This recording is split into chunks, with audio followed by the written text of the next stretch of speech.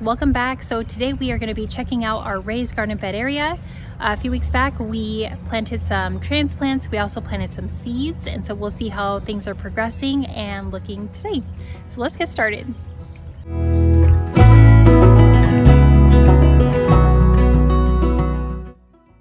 So in the first barrel we have our mint, we have some alyssum,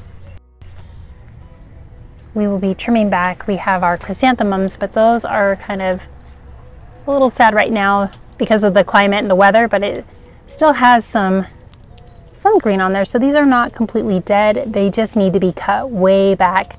Uh, and then they will actually come back probably in fall. Same for these, this guy here. And then in our first raised garden bed,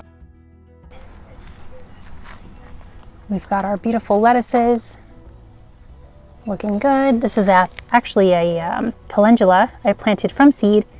It's doing all right. It got a little sad just because there was a tomato plant that was currently right next to it here in this space that was blocking the sunlight for it. So it's actually doing pretty good considering all things. I didn't know if it was going to make it.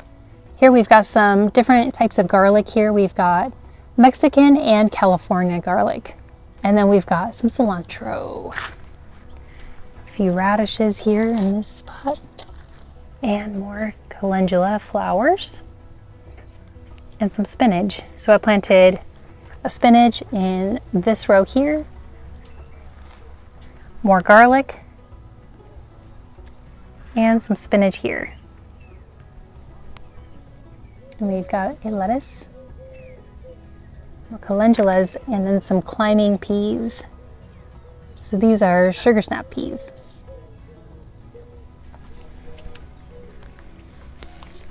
Then in our next bed over, we've got another variety of lettuces. Planted some red Creole onions, starting to get some sprouts there. Lobelias, chives, some flowers. This is actually another chrysanthemum. He's faring quite well considering a little bit of frost there on the ends, but not too shabby. We've got our overwintered jalapeno plant here with some more calendulas and garlic. This here is a celery, some more cilantro and garlic, and these ones here are shelling bush peas.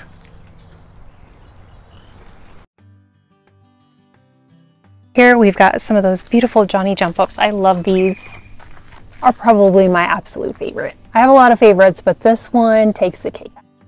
Got a nice lettuce head there and some kale. And let's see here. Oh, and we've got some new, these are stardom lettuce sprouts. Looks like those are coming up nicely. Try to get a lot of different types of lettuce so that way we have a nice mix to use for salads, sandwiches, and different things. Here we also have our ginormous celery. This celery I actually planted last spring.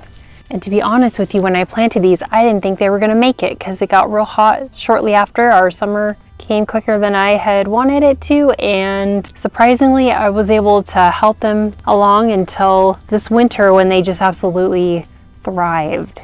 So very cool. Beets, let's see if we have a beet. I do see a sprout there. I am looking forward to growing another round of beets and we're going to try some new recipes this year. And if you have any ideas for some recipes or things that you like to eat with beets, write them in the comments below. We would love to hear from you and get some inspiration, some ideas. Sugar snap peas. Love, love, love these. The kids love snacking on them. This one's already starting to blossom. So we'll be able to enjoy some yummy sugar snap peas here shortly. Love it. Oh, and there's one right here. Look at that. Beautiful.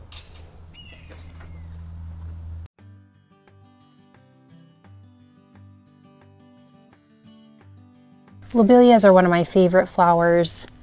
I just feel like they are so gorgeous and they add just a nice, unique color to the garden beds. In our family, we love onions, and so we made sure to plant a lot of seeds and hopefully we'll be getting a ton of those. We got some celery here in the center our calendulas. Also another beautiful addition to any garden bed and it also is great to attract those pollinators into your garden. We've got our strawberries here with our Swiss chard. This kind of was a happy accident that I planted the Swiss chard with the strawberries.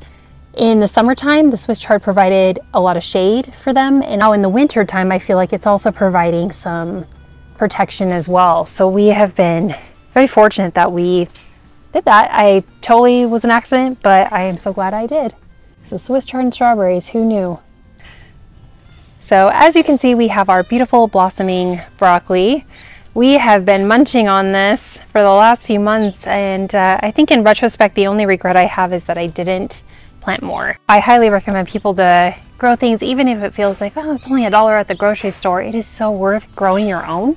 And when we uh, steamed it, we had just a beautiful dark color. It was just absolutely gorgeous and delicious.